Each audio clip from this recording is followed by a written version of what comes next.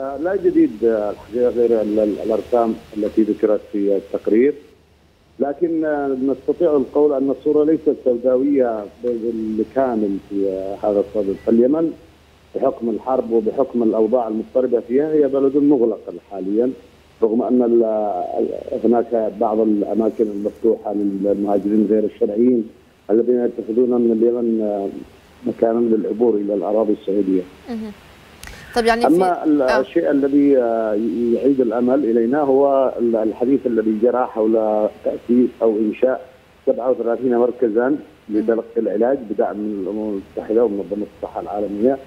أعتقد هذا العدد سيكون يعني قادرا قدر الإمكان على احتواء جزء من الكارثة.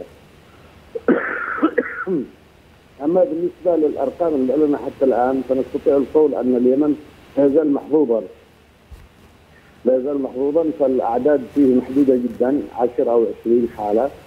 آه رغم أن هناك شكوك في ذلك ان لأنه كما إذا علمتم أن حالات الدفن في اليمن دفن الموتى لا يتم عبر المستشفيات الحكومية أو غيرها ولا يتطلب استخراج شهادة وفاة مسببة أو تقارير صحية.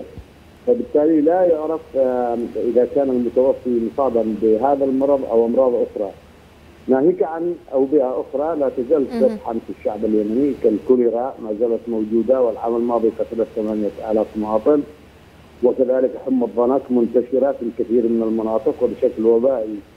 وكذلك حمى السنغوله التي تسمى محليا بالمكرفس هذه الأوبئة الثلاثة إذا أضفنا إليها الكورونا ربما أن الكورونا سيزيد من معدل الوفيات لكن عمليا نحن نراهن على وعي الشعب اليمني في انشاء أكبر قدر من التباعد الاجتماعي وعدم الانسياق وراء المناسبات العامة والأشياء الموروثة لأن الشعب اليمني ثقافته تقوم على الحشود الشعبية الحشود في في الأسواق والحشود في كل مكان.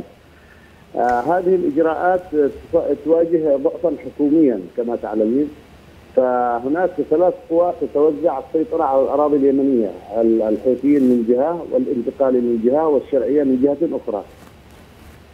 طيب هنا عذرا على المقاطعة سيد الحصول على المساعدات الأممية التي المقدمة في صعيد مكافحة المرض كما هو حاصل مع الاوبئه الأخرى.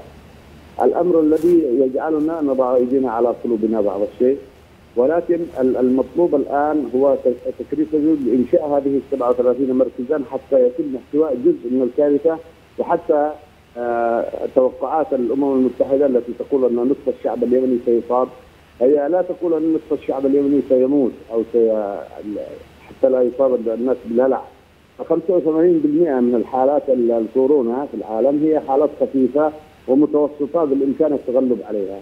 فيما عدا ال 15% الباقية هذه خطيرة وتؤدي طيب هنا لم يتبقى لدينا الكثير من الوقت سيد وليد عذرنا عن المقاطعة. يعني هنا يعني هل السلطات قادرة على ضبط هذه الجائحة في ظل يعني الجانب الصحي المنهار أساسا؟ في ضوء الدعم الأممي ستكون قادرة على احتواء جزء لأنه كما تعلمين التجمعات السكانية في اليمن ليست كبيرة بل هي في الأرياف أكثرها. لذلك فان انتشار المرض سيكون مقتصرا على عواصم المحافظات أو مدن بعينها. بالتالي إذا احتوينا هذه المراكز عبر المراكز هذه التي تنشئها الأمم المتحدة وتزويد الطواقم الطبية بأدوات الحماية اللازمة إن شاء الله سنتغلب على هذا المرض كما تغلبنا على الأوبئة الأخرى التي يتعايش معها الشعب اليمني ويدفع الكثير من الضحايا في سبيل البقاء على قيد الحياة في وجودها. نعم. نعم أشكرك جزيل الشكر على كل ما تفضلت به ضيف من القاهرة الكاتب والمحلل السياسي السيد وليد المشارعي